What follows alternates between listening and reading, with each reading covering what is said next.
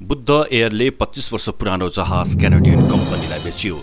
आन्तरिक उडानमा अग्रणी बुद्ध एयरले पहिलो व्यावसायिक उडान गरेको बिच क्राफ्ट जहाज बिक्री गरेको छ। अढाई दशक अघि बुद्धले उन्नाइस सिट क्षमताको बिच क्राफ्ट जहाजबाट व्यावसायिक उडान थालनी गरेको थियो। अहिले बुद्धले दुईवटै बी उन्नाइस हजार डी जहाज क्यानेडियन कम्पनीलाई बिक्री गरेको हो। बुद्धले नेपालमा तुलनात्मक रूपमा सुरक्षित मानिएको एटिआर जहाजबाट मात्र उडान गर्ने भएको छ। अहिले बुद्धसँग तीनवटा एटिआर बयालिस तिन सय बिस र एघारवटा एटिआर बहत्तर पाँच सय जहाज रहेका छन्। एटिआर विमानबाट मात्रै उडान गर्ने निर्णयपछि उडान योग्य अवस्थामै रहेको बिचक्राफ्ट जहाज बिक्री गरेको बुद्ध एयरका प्राविधिक निर्देशक मङ्गेश थापाले बताउनुभयो।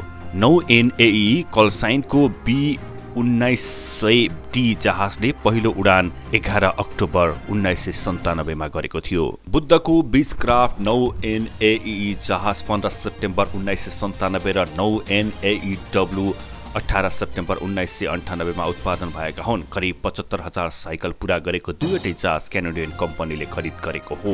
एक ठाउँबाट उडेर अर्को ठाउँमा अवतरण गरेपछि जहाजको एक साइकल पुरा हुन्छ। पुरानो जहाजको नियमित मर्म सम्भार खर्च बढ्दै गएपछि जहाज बिक्री गर्ने निष्कर्षमा बुद्ध एयर पुगेको हो। थापाले भन्नुभयो विमान निर्माता कम्पनीको मापदण्ड बमोजिम नियमित मर्म सम्भार गरेकै कारण जहाज उडान योग्य भएकाले विदेशी कम्पनीले किनेको हो। पच्चिस वर्ष अघि चार दशमलव पाँच मिलियन डलरमा खरिद गरेको जहाज क्यानेडियन कम्पनीलाई राम्रै मूल्यमा बिक्री गरेको कम्पनीको भनाइ छ।